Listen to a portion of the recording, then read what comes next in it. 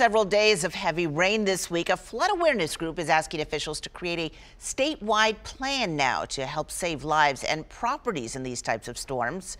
News Channel 5's Amelia Young joins us now with details. So, Amelia, who is this group and how do they think a plan like this could actually make a difference?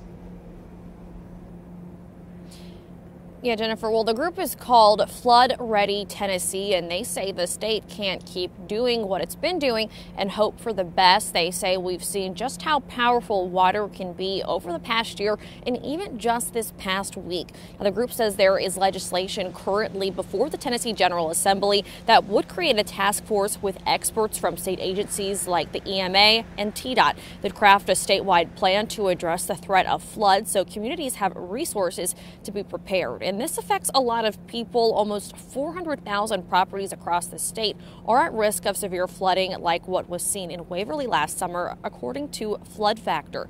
This comes as the National Weather Service's Serve Severe Weather Awareness Week ends today. All week, experts have been encouraging folks to create those safety plans. Krissy Hurley with the National Weather Service here in Nashville says Tennessee had 22 flash flooding fatalities last year.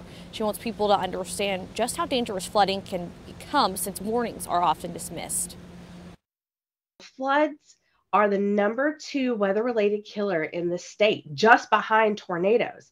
And I think it's one of those deceiving kind of threats that you don't really think twice about.